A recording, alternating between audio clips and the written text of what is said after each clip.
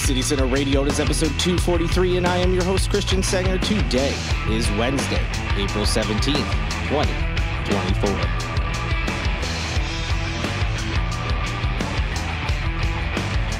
Back from Phoenix and my alma mater, national champions, back to back, six time in their history. Yes, I've been enjoying uh, the post Phoenix trip. Uh, such a great time. I won't dwell on it and bore you with all the details. I'm sure most of you do not care, uh, but I, I, did have a fantastic time. Uh, obviously, being there, seeing my school win the national championship in person was pretty incredible. Uh, just an awesome experience overall. Being in the Phoenix, Tempe, Glendale area uh, was was just so much fun and uh, had a had a blast. I will say, um, in addition to the games, um, I also was able to try a couple fast food restaurants that I've heard about but I've never gotten to before. That includes In and Out Burger. I was stoked to finally have uh, a taste of this famous West Coast fast food franchise, and it was uh, just as tasty as advertised. I also made it to Del Taco, uh, which is a you know like a Mexican fast food restaurant. You know, think Taco Bell, but uh, actually better. I mean, I only had a couple items, but uh, the quality of ingredients seemed a little better, and it was way more tasty than it had any business being. So I was quite happy with that. And I also went to the Phoenix Zoo one day. I, I like zoos and aquariums and museums and, and things like that. So uh, that was fun as well, just seeing all the different animals. It was a, a really uh, good park. You know, it seemed like the employees took real good care of it, kept it clean, uh, and it was designed really well so that you could see a lot of animals. It was really great but you know not too much else uh, to report on the trip that you all would be interested in i will share one quick story though so, uh, I think I mentioned the last podcast. I, you know, there was some delays with the rental car. I wasn't able to go straight to my hotel before the Final Four started. So I didn't get back there until it was dark out. And uh, the area I was in, you know, had some lights, but you couldn't really see all the businesses as I was driving down the, the stretch getting to my hotel, you know, because they were closed for the evening but I was wondering if oh I wonder if there's any coffee around me. I saw a Starbucks. It was like I don't know a mile or so away from my hotel, and then I saw what I thought was either a local or like a West Coast franchise called Bikini Beans Coffee, literally right across the street from my hotel. I thought perfect. I'd rather you know go to some even if it's a like regional chain. I'd rather go there than a national chain that I've been to a bunch of times. I'll go there tomorrow. So the next day I get in line. It's like one of those drive through walk up places. And uh, had a decent amount of cars in line considering the time of day. You know, I wasn't there before 9 a.m. when people are, you know, maybe uh, getting ready, getting coffee before work or whatever. So I was kind of surprised, but all right, whatever. Maybe it's just a good coffee place. So, long story short, as I get around the corner and finally like enter the main uh, part of the drive through, I notice that all of the employees are young women in bikinis. And all of a sudden, the name Bikini Beans Coffee made a lot more sense to me considering there's no water or beaches around Phoenix. And uh, so, needless to say, it was a little embarrassing. So I was like, oh no, I had no idea this was it. Of course, as I look at the cars in line, it's all individual guys all by themselves.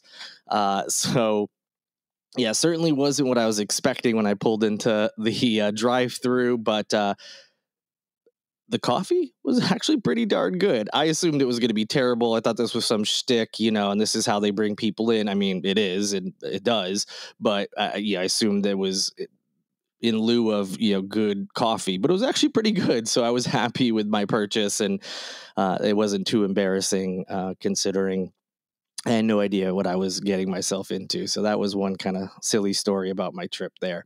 Uh, but enough about that. Let's bring it back to Charleston and talk about the latest news. A big story that's happened over the last few weeks uh, involves a shooting that happened in Summerville in front of a Chick fil A where an off duty officer shot and killed uh, a civilian. And at first, reports made it seem like maybe the civilian was to blame. But then, as video from witnesses came out, we realized, ah, no, it kind of looks like the police officer may have been the aggressive aggressor here. Uh, and so, as more and more details came out, it, it certainly seems in law enforcement's mind that yes, this officer was in the wrong. So if you need a little bit of a catch up, there was an off duty Summerville police officer who shot and killed a man during an altercation in a Chick fil A parking lot in March.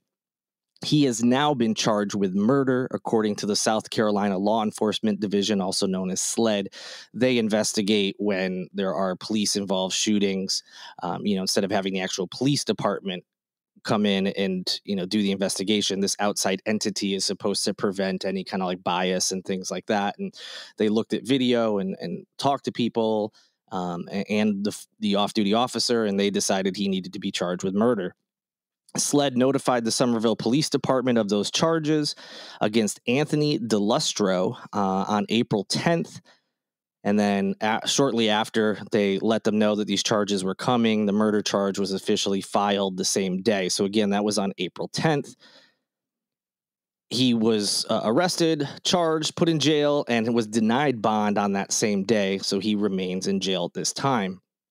Now, according to SLED, DeLustro shot and killed 39 year old Michael P. O'Neill, who is originally from North Carolina.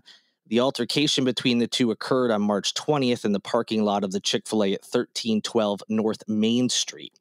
Eyewitnesses described DeLustro as the primary aggressor.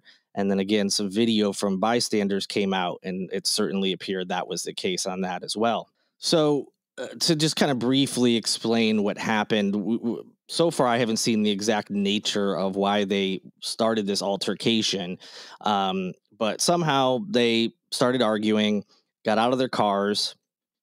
Uh, DeLustro, who's the off-duty officer, uh, by the way, he has since been fired, uh, so he is no longer um, with the Summerville Police Department. But he told O'Neill that he was under arrest and displayed his Summerville Police Department credentials.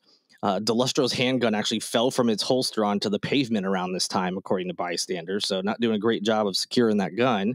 Um, when he mentioned that O'Neill was under arrest, O'Neill decided he wanted nothing to do with this altercation uh, and went to his car to try to leave. However, as he was doing that, DeLustro threatened to shoot him if he left. In addition to that, DeLustro's wife attempted to physically restrain O'Neill during the altercation, uh, and she did this while O'Neill was just trying to get back into his vehicle. So while O'Neill was attempting to leave, um, DeLustro uh, apparently picked up his handgun entered O'Neill's vehicle through the passenger side door. And O'Neill, not surprisingly, tried to drive away from this guy who's coming into his car. Uh, and, and, when he did that, DeLustro was only partially seated in the passenger seat, ultimately ended up firing a single shot that killed O'Neill. Now, in interviews with police, well, with SLED, uh, DeLustro acknowledged that he knew O'Neill was attempting to leave the area and it was his intent to stop him. He also acknowledged that he never saw O'Neill with a weapon and that O'Neill never threatened to use one. So, although despite that, DeLustro was still claiming self defense for why he shot him. Uh, SLED agents say that he put himself in danger by entering O'Neill's vehicle with a handgun, uh, especially since O'Neill was unarmed and was trying to walk away from an altercation and just leave. Through, like I said, these eyewitness accounts and video evidence, they ultimately determine uh, DeLustro killed O'Neill with what they call malice afterthought, or a forethought, excuse me. So, a very sad situation all around. An officer you would hope would not be so quick to pull out a weapon and shoot someone. Although I'm sure some of you listening are like, "What are you talking about? We we we've seen this before in other uh, altercations." Uh, now, this guy's off duty. He's getting in some kind of yelling match. Like, what is the point? You know, uh, who knows what they were arguing over? But it's not worth this guy's life. So, we'll I'll certainly keep you updated on this sad situation. Where exactly, you know, how this will play out in court, who knows? You know, it, what is the rule here when you're an off-duty officer telling someone they're under arrest and they try to flee? You know, I'm not saying shooting justifies it at all, but you know, will a jury or you know think differently or will will they try to argue something about that it'll be interesting to see how it all plays out but again from eyewitness accounts and the video and from sled's opinion you know the off-duty officer was the, the main aggressor and had no reason to shoot at o'neill um, but we'll certainly keep you updated Alex Murdaugh, we haven't talked about him in a while. The convicted murder and disgrace former low country lawyers back in the headlines as he has filed an appeal over his federal sentence regarding his financial crimes. Uh, he has a couple um, sentences related to financial crimes, one on the state level. Uh, this specifically, the one he's trying to appeal is the financial crimes um, that were uh, charged federally. United States District Judge Richard M. Gergel sentenced Murdaugh to 40 years for those crimes on April 1st at the United States District Court here in Charleston. Uh, Murdaugh was also ordered by Gergel to pay $8.76 million in restitution. So the appeal was filed by Murdaugh's lawyers, the same ones he had, you know, during um, both the federal, uh, I'm sorry, for both the federal um, and state financial crimes, as well as the uh, murder trial. Uh, their names are Jim Griffin and Dick Harpootlian. So the 56 year old Murdaugh is already serving two life sentences for the murders of his wife Maggie and son Paul. Uh, they were killed back on June 7th, 2021. That's been uh, well documented, and it's I'm sure you all are very familiar with that whole story. Now, just last week, Murdaugh had filed an appeal over the denial of his motion for a new uh, murder trial. So, tried to get a new murder trial. That was denied. And then last week, Murdaugh and his lawyers filed an appeal of that denial. So we've got a couple of appeals going on. One appealing the decision not to grant him a new murder trial, and now an appeal for his federal sentencing um, as far as I've seen from local news coverage, because uh, it just happened today as I was getting ready to record this podcast, although it was expected uh, over the last couple days that he was going to appeal, it hasn't. We we don't know why um, why they're filing this appeal. Like, what is their reasoning for it? What are they trying to say? So once I finally find what exactly the grounds for appeal you know they're citing here i'll be sure to pass that along um, you know just another twist and turn and what it's going to i'm sure be a years long drama with murdaugh and finally, another notorious name that we haven't talked about in a while. That's John C. Calhoun. Yes, the statue of him is back in the news. Um, so it, it, we still don't quite know what's going to happen with it. Uh, Charleston City Council took no action on April 9th, which was uh, you know their last meeting. Um, in regards to what to do with the statue. It's been nearly four years after the city council first voted to remove uh, this statue of the former vice president and slavery supporter from Marion Square. Um, this, you know, the the statue portion of that, you, you know, as you all remember, was on this huge pedestal. It's been uh, held you know, somewhere by the city. There's been a couple uh, offers to museums that ultimately said they didn't want to bring the statue in. There was talks of it going to L.A. for some art exhibit that was and ended up being backtracked and didn't happen.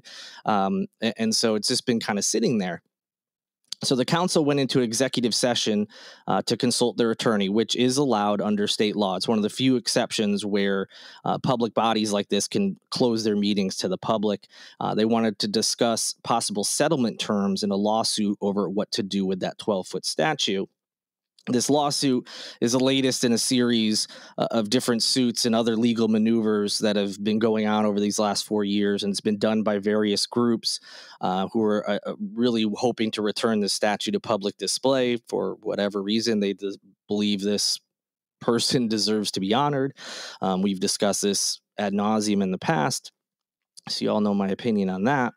Uh, so because of this, they you know they're trying to consult on what to do. But ultimately, after speaking with their lawyer, whatever they talked about, we don't know, of course, uh, they decided um, to take no action in regards to this possible settlement. So at this time, it, the statue is still sitting somewhere um, with no plans to come back out to the public. These lawsuits are still out there pending as, as no action was taken. Uh, so, just like all the other stories, I'll be sure to keep you updated on where, if anywhere, the John C. Calhoun statue will end up. That will do it for this edition of Holy City Sinner Radio. I hope you are having a great week. Um, be sure to come back on Friday's episode. We have an interview scheduled, um, so that'll be a fun episode as you go into your weekend. Um, have a great next couple of days until you hear back from me. I, I, did forget to mention my family's in town. My mom and dad are here visiting with their dog, so I'm excited to have them here. Um, I haven't. I was actually just back in Connecticut, as you may remember, not too long ago. Um, but it's nice to be able to see them again and hang out. I'm sure we'll do some fun things around town, go out to eat or what have you. So, looking forward to that. Perhaps we'll uh, try some new places or places I haven't talked about in the podcast before, and I can update you on that. But before I sign off, I do have to say thank you to Lindsay Marie Collins with LMC Sound System for producing this and every episode of Holy City Sinner Radio, and also Tyler Boone, whose music you hear in each and every episode. Like I said, we'll be back on Friday with an interview, but until then, good night and good luck.